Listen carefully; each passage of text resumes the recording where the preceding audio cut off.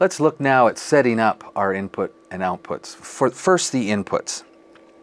One of the great things about the V1600 HD is its auto sensing ability. Typically, you just plug in your video source and the appropriate jack on the back, and if a signal is being received, the indicator above the particular channel button will light.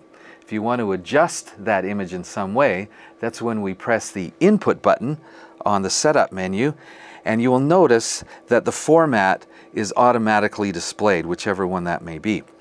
Now you just press enter of the particular source that you're interested in changing and that allows you to adjust many parameters including the scaling, zoom, position, brightness, contrast, as well as how you want to deal with the aspect ratio and whether that's uh, full scale, letterbox, crop, squeeze, whatever your output format is.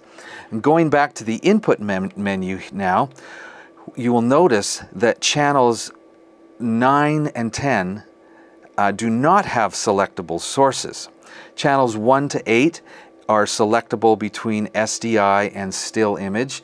Channels 11, 12 between RGB component and DVI-D and HDMI. Channel 13 between composite and S-video, and channel 14 between a solid color and the still image.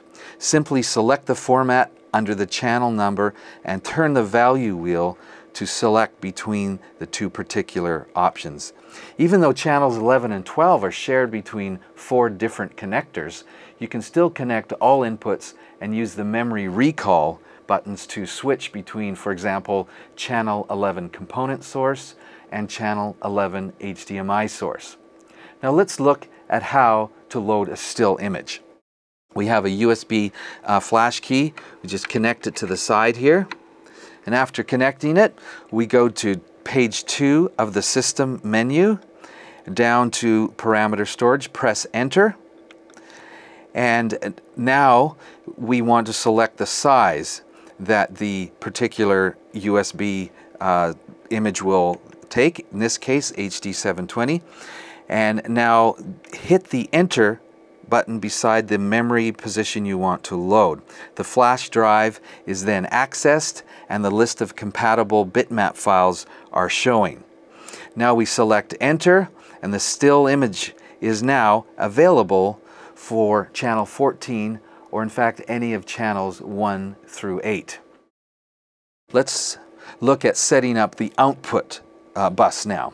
What the output menu shows depends on what mode the system is set to. We'll talk about each of those modes later.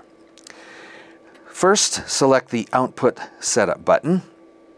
And in the typical DSK or aux mode, you will find a menu page that allows setting the format and source assignment for each bus and output connector. By selecting Enter under the Program bus, you are then able to adjust the scaling, the zoom, position, brightness, contrast, saturation, RGB, color balance, and even edge blending. The input and output setup menus offer complete control of formatting, routing, positioning, and even color.